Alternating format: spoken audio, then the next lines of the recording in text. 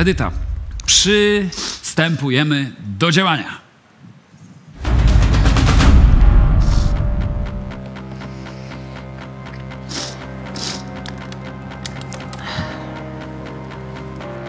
No nie jest łatwo.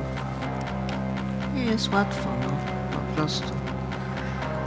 To jest ogromna odpowiedzialność, słuchajcie. Ja ją rozumiem. Każdy z Was zasługuje na to, żeby móc się zaprezentować jeszcze raz i kolejny raz i kolejny raz. I zanim oddamy decyzję w ręce widzów, to jest nasza decyzja i to jest bardzo trudne. Jakkolwiek kocham ten program, ten regulamin jest po prostu bezlitosny.